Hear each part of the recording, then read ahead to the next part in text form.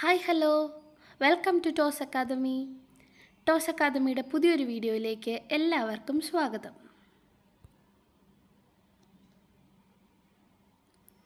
ഇന്ന് ഞാൻ നിങ്ങളുടെ മുമ്പിൽ കേട്ടറ്റുമായി ബന്ധപ്പെട്ട ഒരു വീഡിയോയുമാണ് വന്നിരിക്കുന്നത്. കേട്ടറ്റിന് പുറമെ SET NET H S A L P U P എന്നീ വിഭാഗങ്ങളിലും ഉന്നതാധ്യാപകരുടെ സേവനങ്ങൾ ടോസ് അക്കാദമിയിൽ ലഭ്യമാണ്. കൂടാതെ കേട്ടറ്റ് ആസ്പിരൻസിന് വേണ്ടി Toss Academy free Telegram group offer ചെയ്യുന്നുണ്ട്. ഇതിനോടധികം തന്നെ ഏഴായിരത്തിലധികം കുട്ടികൾ അതിൽ എൻറോൾഡ് ആയിട്ടുണ്ട്. കേട്ടറ്റ് അധ്യാപകരുടെ നേതൃത്വത്തിൽ daily quiz M C Q series എന്നിവ നിങ്ങൾക്ക് ലഭ്യമാണ്. സൗജന്യ ടെലിഗ്രാം ഗ്രൂപ്പിൽ ജോയിൻ ചെയ്യാനായി താഴെ കാണുന്ന ലിങ്കിൽ നിങ്ങൾക്ക് ക്ലിക്ക് ചെയ്യാവുന്നതാണ്. ഇന്നത്തെ നമ്മളുടെ video category three social science ആസ്പിരൻസിന് വേണ്ടിയിട്ടുള്ളതാണ്. അവർക്ക് വേണ്ടിയുള്ള സ്പെഷ്യൽ ക്വസ്റ്റ്യൻ ബാങ്ക് ആണ് ഉദ്ദേശിക്കുന്നത്. ആദ്യത്തെ ഒരു ക്വസ്റ്റ്യൻ ചെയർമാൻ ഓഫ് നീതി ആയോഗ് ഈസ്? നീതി ആയോഗിന്റെ ചെയർമാൻ ആരാണ്? Prime minister vice president president chief justice of supreme court. ഏതാണ് അതിനുത്തരം? നീതി ആയോഗ് എന്ന് പറയുന്നത് നമ്മളുടെ പഞ്ചവത്സര പദ്ധതികൾ നിർത്തലാക്കി രണ്ടായിരത്തി പതിനഞ്ച് ജനുവരി ഒന്നിന് ആരംഭിച്ച പദ്ധതിയാണ്. ഇതിന്റെ ഫുൾ ഫോം എന്ന് പറയുന്നത് national institution for transforming India എന്നാണ്. ഇതിന്റെ ചെയർമാൻ എന്ന് പറയുന്നത് നമ്മളുടെ പ്രൈം മിനിസ്റ്ററായ നരേന്ദ്രമോദിജി ആണ്. അടുത്ത ഒരു question the heat zone to which Kerala belongs to Kerala എന്ന സംസ്ഥാനം ഏത് ഹീറ്റ് സോണിന്റെ ഉള്ളിൽ വരുന്നതാണ്? Temperate zone frigid zone sub tropical zone torrid zone ഇതിനുത്തരം zone ആണ്.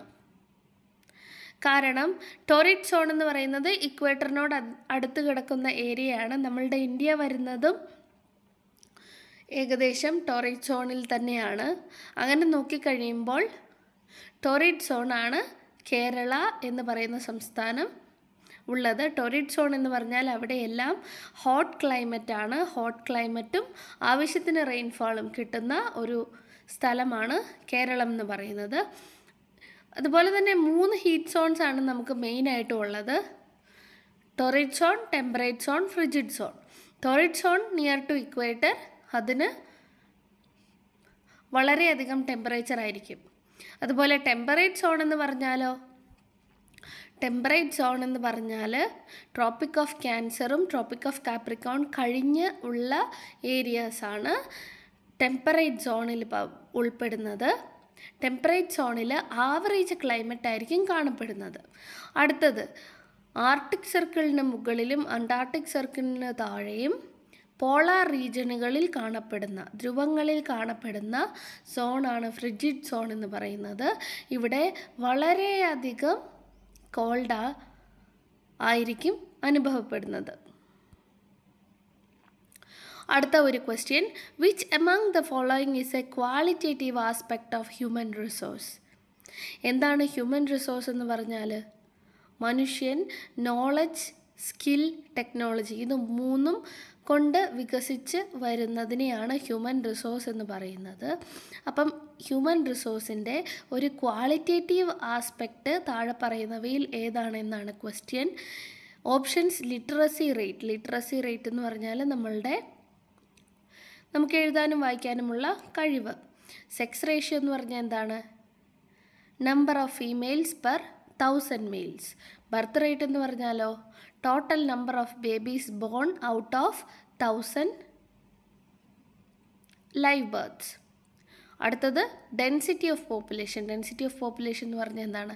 ജനസാന്ദ്രത. ഇത്ര സ്ഥലത്തിനുള്ളിൽ എത്രയധികം ആളുകൾ തിങ്ങിപ്പാർക്കുന്നുണ്ട്. അപ്പോൾ ഇതിൽ നമുക്ക് അളക്കാൻ പറ്റുന്നത് ഏതൊക്കെയാണ്? നമുക്ക് സെക്സ് റേഷ്യോ ഒരു കറക്റ്റായിട്ട് പറയാം. ബർത്ത് റേറ്റ് നമുക്ക് കറക്റ്റായിട്ട് പറയാം.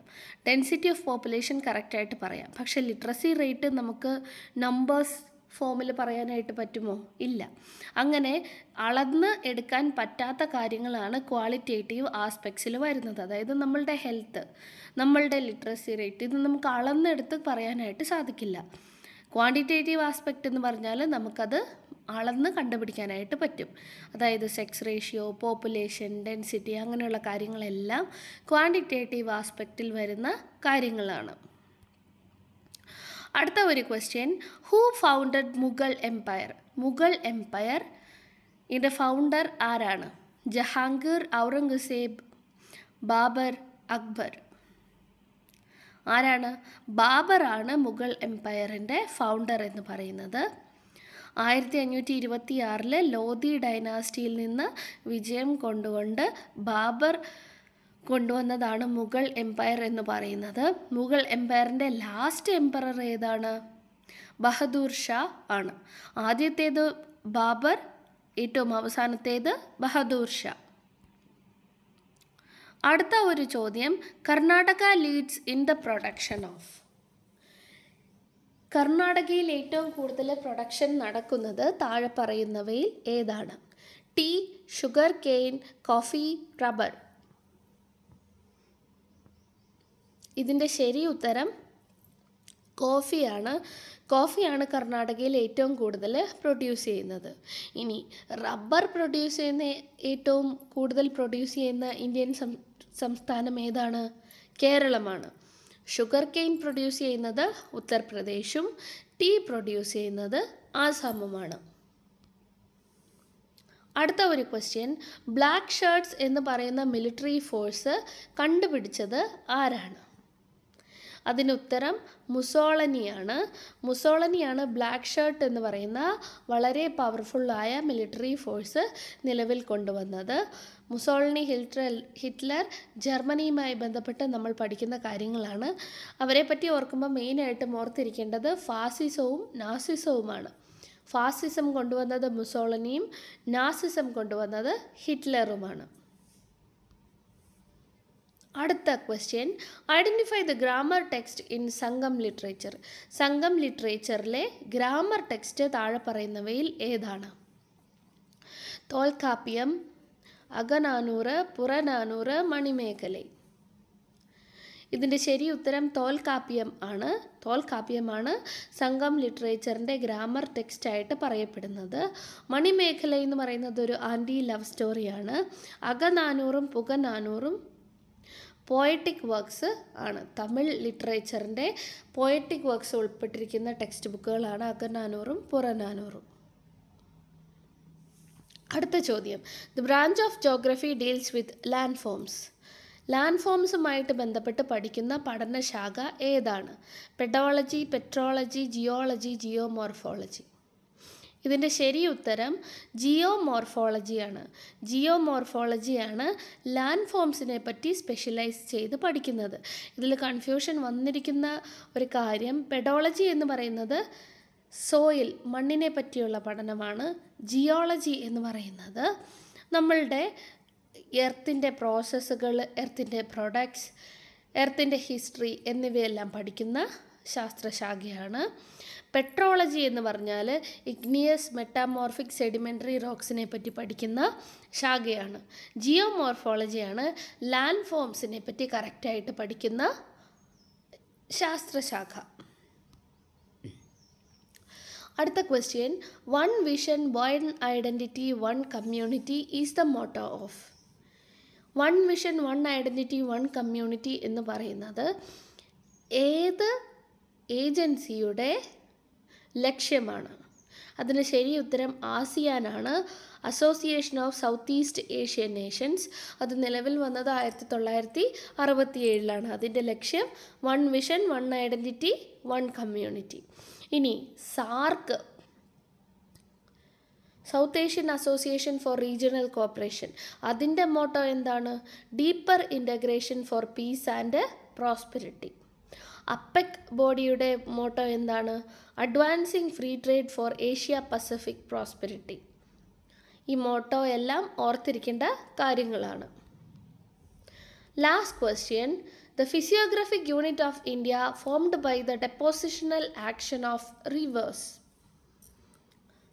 നദികളുടെ ഡെപ്പോസിഷന്റെ ഭാഗമായിട്ട് നിലവിൽ വന്ന ഇന്ത്യയുടെ ഫിസിയോഗ്രഫിക് ലാൻഡ് ഫോം ഏതാണ്?